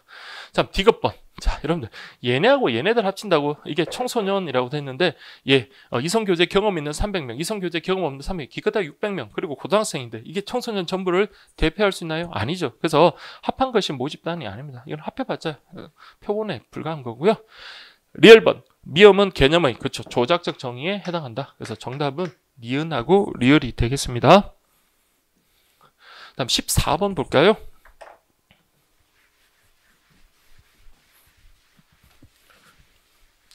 자, 밑줄 친 기업부터 비업에 대한 설명으로 옳은 것만을 보기 위해서 고른 것은 어, 장남, 뭐 이건 여러분들 뭐 모든 뭐 교재라든지 뭐 문제지 같은 데서 한 번씩은 다뤄봤을까요? 뭐 장남, 맞이 뭐 이런 것들은 다 어, 내가 장남으로 태어나고 싶어서 태어난 건 아니잖아요. 그래서 이거는 기속 지위가 되겠습니다. 자, 쭉 내용이 나오는데 어, 여러분들 문제 푸셨으니까 그냥 한번 바로 갈게요. 자, 기억번 장남은 기속 지위 맞고요. 그다음에 디귿 평사원 그리고 은행장 그랬네요. 평사원 은행장 당연히 우리의 노력과 선택에 의해서 어, 우리가 성취할 수 있는 그런 성취 지위에 해당한다. 맞는 지문이 되겠습니다. 자, 그 다음 두 번째 갑은 땡땡은행 회사 중 자, 어디에 취업하는 것이 좋을지 가족의 경제적 어려움을 해결하기 위해 더 좋은지를 고민하였다. 자, 이거는 여러분들 교도한 뭐 기출 문제라든지 뭐 많은 문제에서 다뤘을 겁니다. 자, 그래서 우리가 대학 졸업 후 대학 아, 고등학교 졸업 후 대학을 갈지 아니면 취업을 할지 아니면 A 대학을 선택할지 B 대학을 선택해야 될지 내가 짜장면을 먹을지 짬뽕을 먹을지 이거는 여러분 역할 갈등과 관련이 없는 거라 그랬죠. 이건 뭐다? 단순한 개인적 고민에 불과한 거예요. 그래서 여기도 마찬가지 땡땡은행과 네모 아, 세모은행과 네모회사 중 어디에 갈지 요거는 여러분들 단순한 개인적 고민에 불과한 거다. 이렇게 가야 돼요. 자, 그 다음에 세 번째 보시면 어, 리을은 그랬네요. 어, 자, 이분 보니까 35년 동안 성실히 근무해요. 그래서 저희 친구 아분도 보니까 어, 고등학교 그 당시 그 상고 졸업하셔가지고 정년까지 정말 열심히 근무하셔가지고 부행장까지 그렇게 하시고 퇴임을 하신 걸로 알고 있는데 어, 이분도 정말 성실히 근무하셨네요. 그래서 35년 동안 성실히 근무, 아, 근무하여 땡땡은행의 지점장으로 승진하고 중산층이 되었다라고 되어 있습니다. 자, 이분 보면 처음에는 빈농의 장남입니다. 그 아버지께서는 형편이 어려운 그런 어, 농업인이셨어요. 그러나 이분이 열심히 노력해서 그러면 빈농의 장남이니까 이분도 뭐예요? 어린 날에는 어, 경제적으로 아주 하층이었겠죠. 그러나 열심히 노력한 끝에 이렇게 지점장 승진하고 중산층까지 되었다. 그럼 이거는 세대 내 이동도 있을 뿐만 아니라 부모 세대와의 어떤 계층을 비교했을 때 세대 간 이동도 있게 되는 겁니다. 그래서 갑의 세대 내 이동, 세대 간 이동 맞는 지문이 되겠고요. 자, 근데 자, 갑은 자, 고등학교 동창회에서 자, 본인은 세모은행 다니는데 동그라미 은행에 다니는 을을 만난 후 그가 은행장으로 승진한 사실을 알고 무척 부러워했다. 물론 본인도 어, 지점장으로 승진하고 중산층이 됐지만은 또 늘 보면 우리는 다른 사람과 또 비교를 하게 되네요. 그래서 어, 동그라미 은행의 은행장으로 이제 승진을 한 우리 친구를 부러워했다라고 되어 있습니다. 자, 그럼 이걸 보세요. 미음과 비읍은 모두 갑의 준거 집단이다. 여러분, 준거 집단이라는 것은 뭡니까?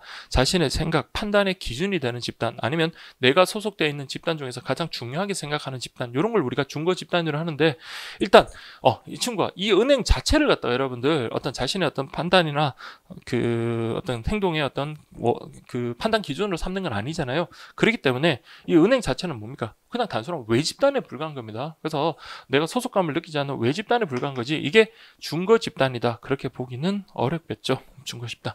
그래서 이건 X.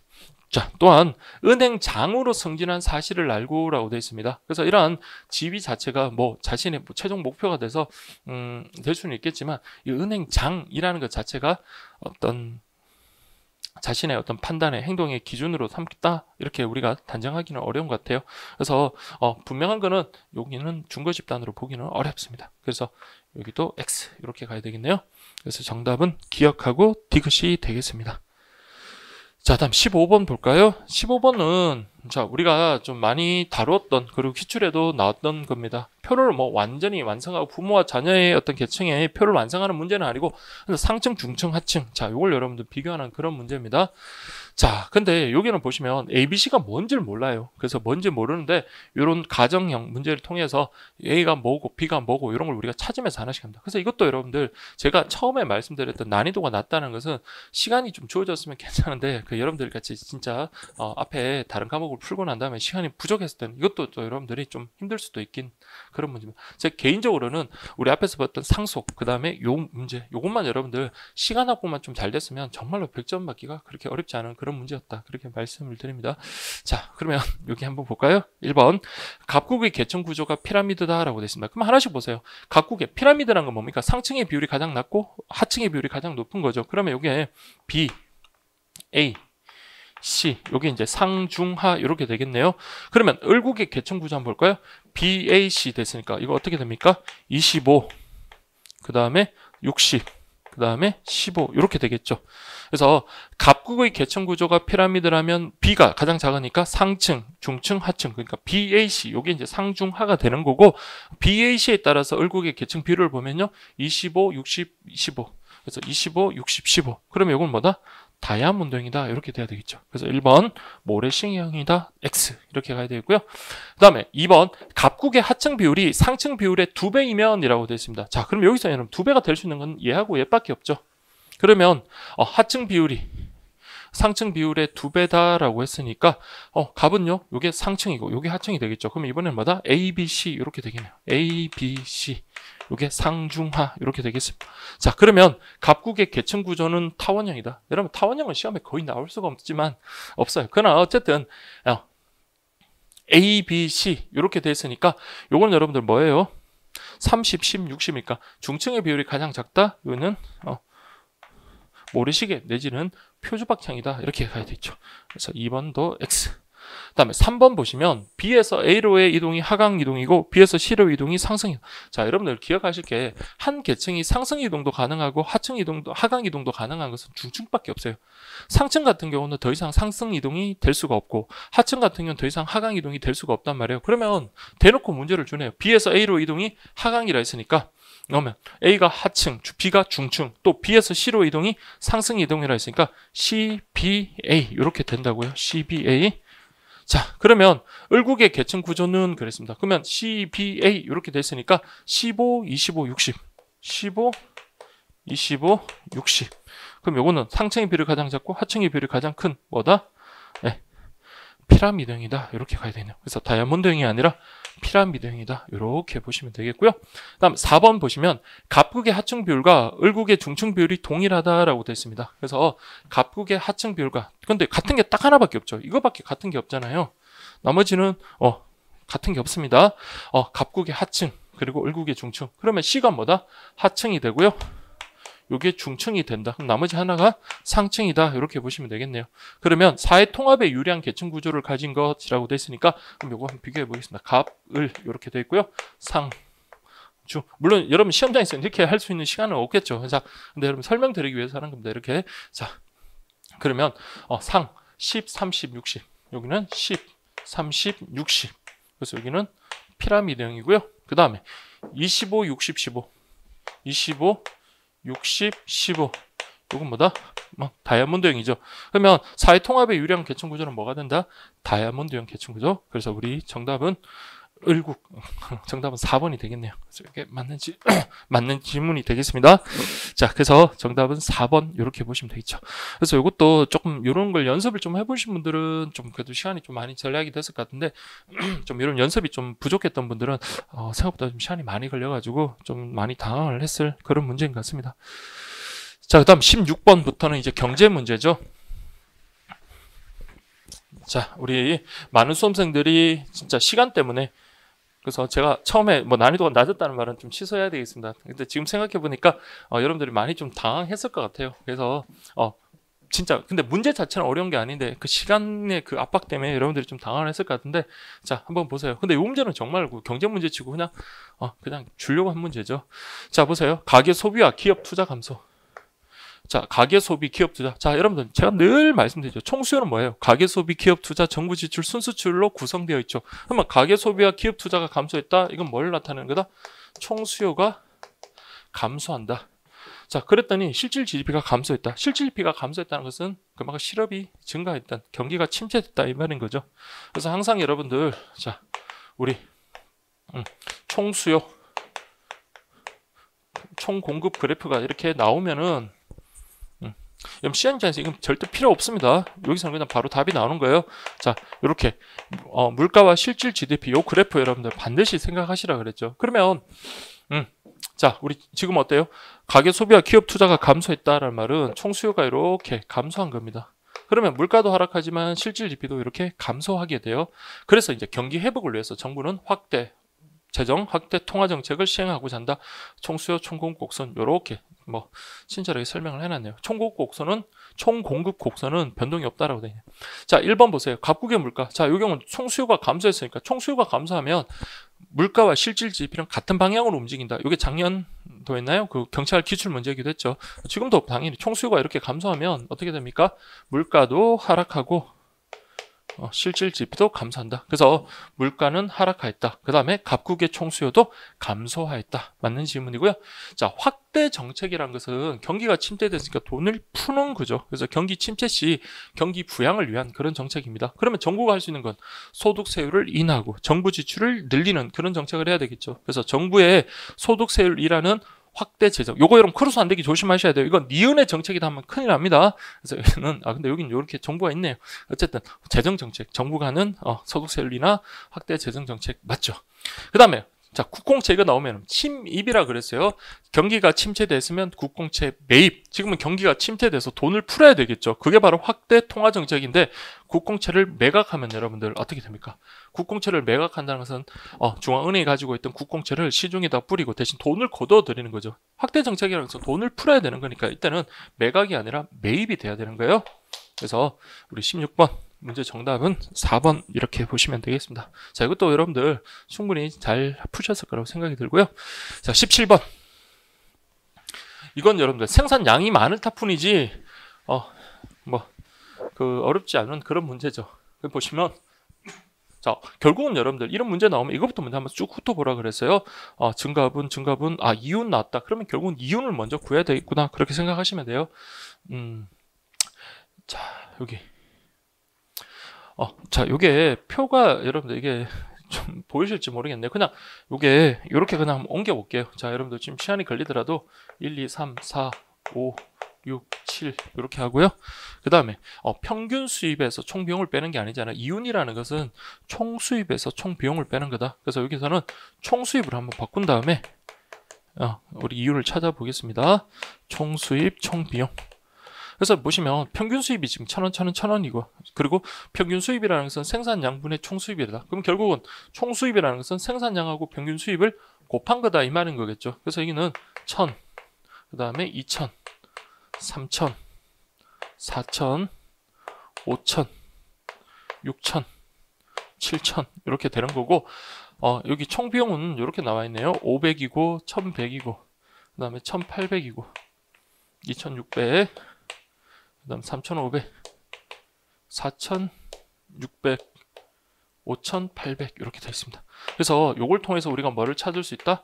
어, 이윤을 찾을 수가 있죠.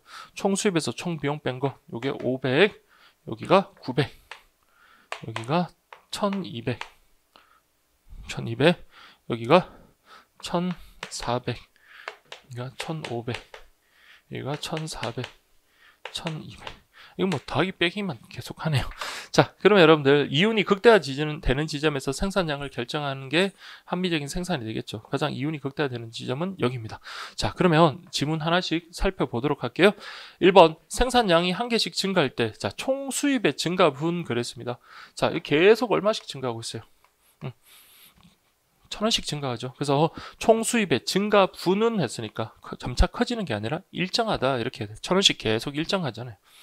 2번 생산량이 한 개씩 증가할 때 총 비용의 증가분 그랬습니다. 자, 이거 볼까요? 500, 600, 700, 800, 이건 뭐 900, 1000, 아 1100이네요. 1100, 1200 이런 식으로 어, 총 비용의 어, 생산량이 하나씩 증가할 때마다 총 비용의 증가분은 어떻게 된다? 작아지는 게 아니라 커진다 이렇게 가야 되겠죠. 커진다 이렇게 돼야 되겠죠.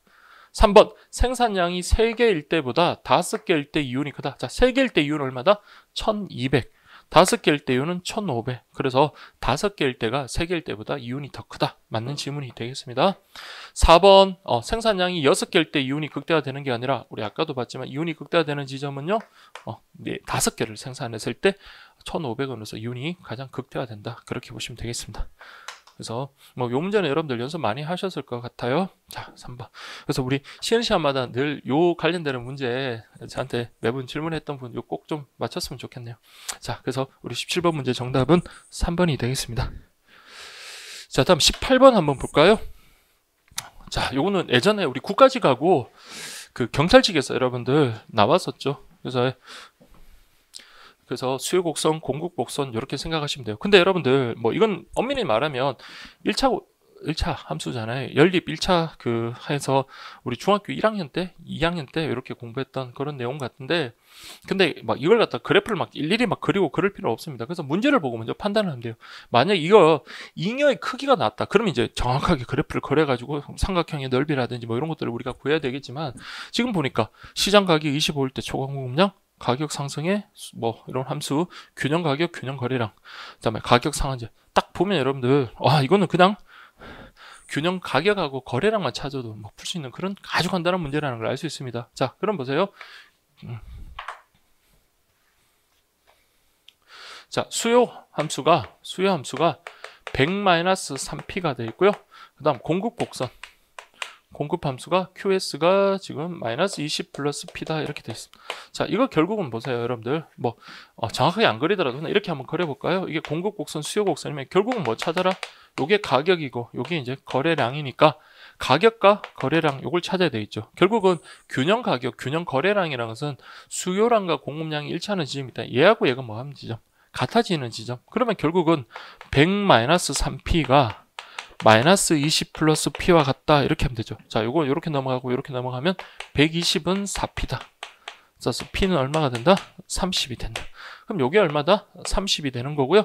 자, 30을 여기 수요 곡선이든 공급 곡선이든 아무 곳에나 넣더라도 결국은 음, 요거 거래량은 10이 되는 겁니다. 그러면 요게 바로 뭐다? 10이다. 이렇게 되는 거예요. 자, 그러면 한번 볼까요? 1번. 시장 가격이 25일 때. 자, 시장 가격이 25면 여러분들 시장 가격보다 더 낮게 이렇게 형성되죠. 그럼 이건 뭡니까? 초과 수요가 발생한다. 이렇게 돼야 되겠죠. 근데 여기다가 한번 넣어 보세요, 여러분들. 자, 20을 갖다가 여기다가 음, 가격 25다. 20이 아니라 25네요. 여러분. 25를 여기다가 한번 넣어 보시면 100-75 하면 자, 우리 수요량이 얼마다? 25가 되겠고 아, 공급량 수요량이죠, 수요량. 자, 이걸 제가 잘못 썼네요. 자, 그 다음에 공급 여기 마이너스 20 플러스 25 하면 요거는 5가 됩니다. 그럼 결국은 수요량은 25, 즉 요게 25가 되는 거고 요게 5가 되니까 뭐만큼 초과 수요량이 20개다. 그래서 20은 맞는데요. 이건 공급량이 아니라 초과 수요량이다. 이렇게 돼야 되겠네. 초과 수요량. 자, 2번 가격 상승에 따라 수요량이 증가하는 수요 함수다라고 되어 있는데 자, 여러분 여기 보세요. 가격에다가 이 마이너스가 붙었다는 것은 숫자가 크면 클수록 오히려 뭐야? 전체 값은 낮아지는 거죠. 그래서 요거는 수요 법칙을 따르는 거네요. 그래서 가격 상승에 따라 수요량은 오히려 어떻게 된다? 감소한다. 자, 여러분 이거 10을 넣으면 11대랑 20일 때 한번 볼까요? 10을 넣으면 100-30 하면 70이 되겠지만 100-3 곱하기 2 하면 20 하면 60이니까 40이 되겠죠. 그러니까 이게 가격이 상승하면 계속 수요량은 어떻게 된다? 감소한다. 이렇게 돼야 됩니다. 수요량이 감소한다. 자, 3번. 자, 이 문제가 정말로 좀 간단했던 게 이거 이거 뭐 가격이 30, 거래량이 10이다. 맞는 질문이 되겠고요. 자, 그 다음 4번. 최고 가격을 여러분들 어, 32 이상으로 설정해야 가격 상한제 정책. 자, 가격 상한제라는 건 뭡니까? 어, 시장 가격이 너무 높다고 판단해서 시장 균형 가격보다 낮은 수준, 즉 여기서 이렇게 설정을 해야 되는 거예요. 아, 그러니까 이거 이거 이거 이거 아래 그러니까 자 이런 상한제 정책 목적을 달성하든 즉 실효성이 있기 위해서는 뭐보다 시장 균형 가격인 30 미만으로 그렇게 상쇄되겠죠. 그래서 어, 최고 가격을 32 이상으로 설정해야 말이 안 되는 거죠. 그래서 이거는 30 미만으로 설정을 해야지 최고 가격제의 어떤 실효성이 나타난다. 목적을 달성할 수 있다. 이렇게 돼야 돼요. 그래서 여기는 30보다 낮은 가격에서 이렇게 그래서 이 가격 이상으로 받지 마 이렇게 돼야 되겠죠. 그래서 4번도 틀렸습니다. 그래서 정답은 3번. 그래서 이 정답은 진짜 간단한 문제였습니다. 자, 다음 19번. 자, 자유무역, 보호무역. 자, 요거. 어, 요거는 여러분들 자유무역하고 보호무역 공부했던 분들은 어, 진짜 기본입니다, 여러분들. 그래서 최소한 자유무역, 보호무역과 관련해서는 이런 그래프 본인이 스스로 그릴 줄 알고 그리고 그 그래프가 의미하는 반드시 어, 알 수 있어야 된다라고 말씀을 드렸습니다. 자, 보시면 T년과 T 플러스 1년 갑국의 X제 시장 나타낸다. 갑국은 자유무역을 시행하고 있으며 T년과 T 플러스 1년의 각국, 아, 국제 가격은 각각 P1과 P2다라고 되어 있습니다. 자, 여기서는 음, 국제 가격을 이제 주어진 것으로 받아들인다. 자, 여기 뭐 국가가 개입해서 뭐 관세 부과하고 이런 게 없죠. 그러면 여기서는 자유무역과 관련되는 그런 문제네요. 자, 여러분들 자유무역. 자, 보시면 무역을 안 한다고 했을 때 그때 가격은 P0, 거래량은 Q0입니다. 그런데 T년도 같은 경우는 국제 가격이요. 우리 국내 가격보다 더 높아요. 그러면 국내에서는 가격이 더 싼데 이걸 갖다가 굳이 수입할까요? 안 하겠죠. 대신 국내 공급자 입장에서는 국내 공급하는 것보다 외국에다가 수출하는 게 더 높은 가격을 받을 수 있겠죠. 그래서 이때는 자 이게 바로 뭐다? 이게 수출 물량이라 그랬어요. 어, 수출 물량이 되는 거고 반면에 이 경우는요.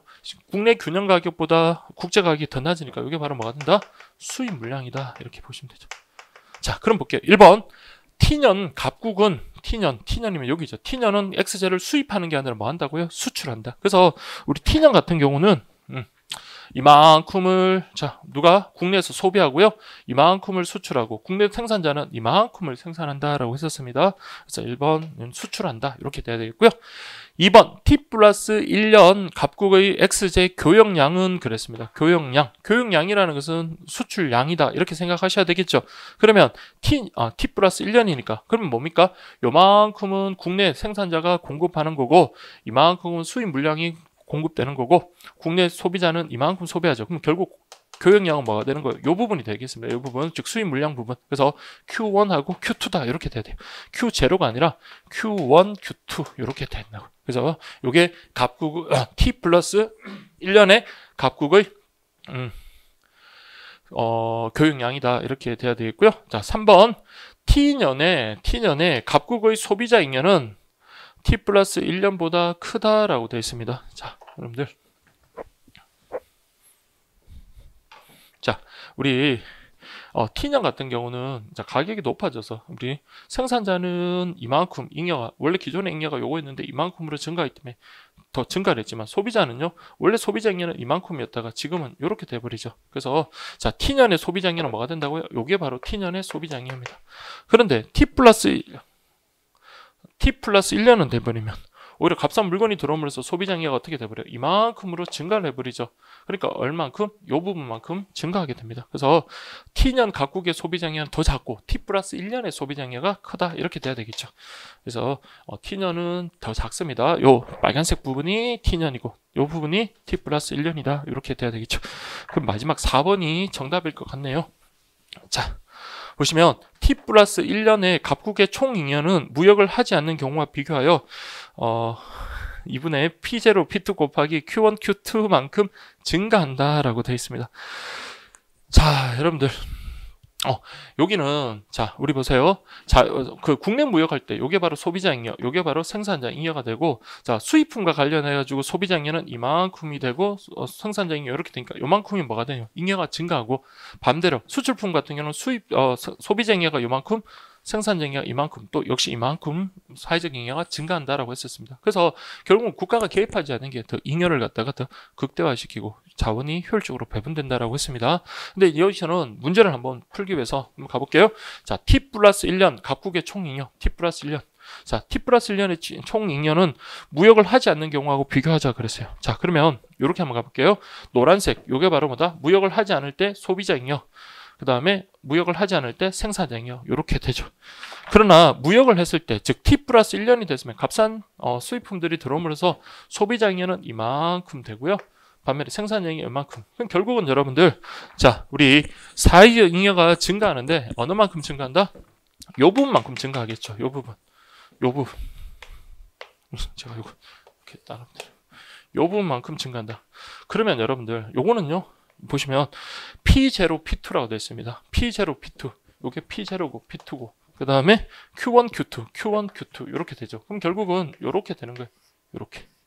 이게 P0, P2. 그 다음에 이게 Q1, Q2. 그럼 보세요. P0, P2, Q0, Q1을 곱하면 뭐가 돼요? 이 직사각형이 되죠. 직사각형.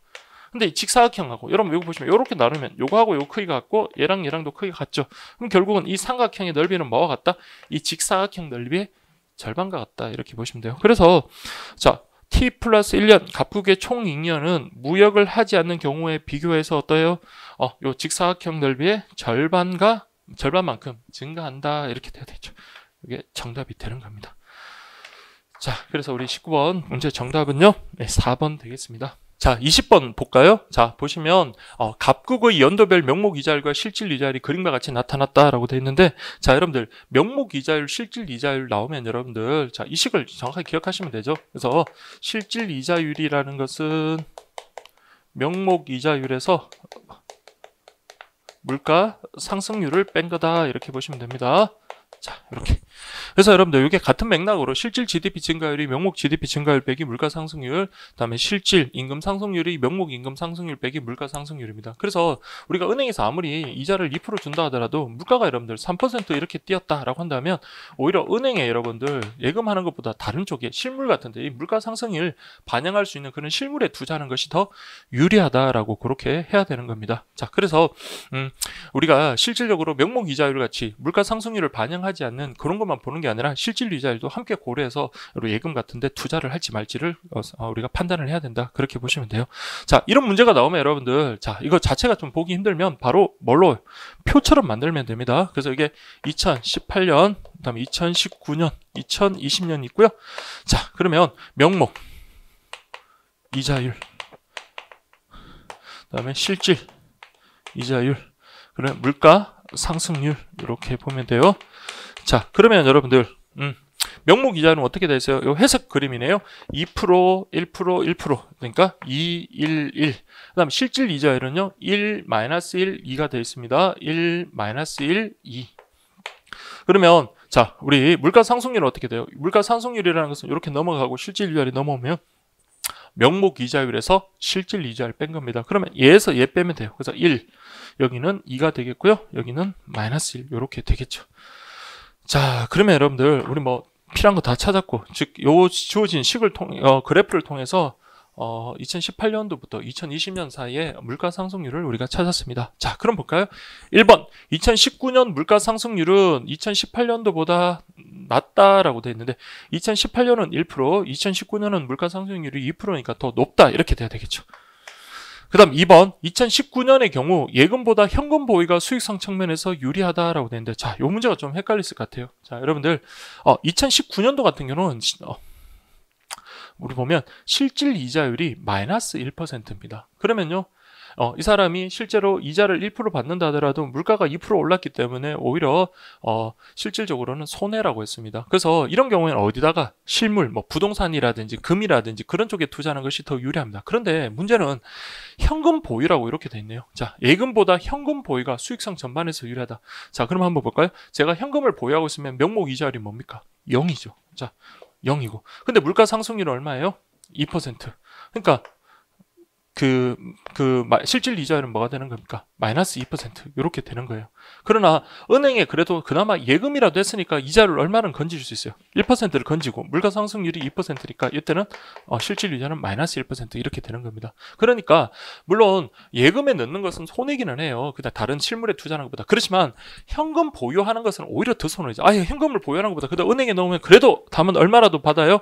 1% 이자라도 받는 거죠. 그래서 어, 예금보다 현금 보유가 유리하다 하면 안 되겠습니다. 아시겠죠, 여러분들? 자, 이건 좀 조심하셔야 되고 3번 2020년에 물가 수준은 2019년보다 자, 여기 보니까 1% 하락했죠. 그러니까 물가 수준은 2009년보다 더 낮아졌다. 이렇게 보게, 보면 되겠습니다.